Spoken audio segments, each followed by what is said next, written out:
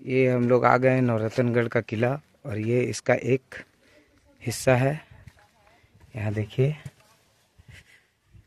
किस तरीके से पहले के ज़माने में बनाया जाता था।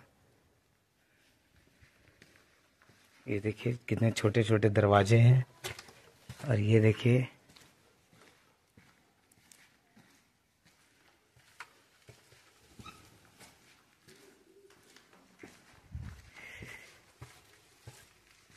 ये देखिए कितने ही दरवाजे हैं। ये इनका शायद हॉल हुआ करता होगा।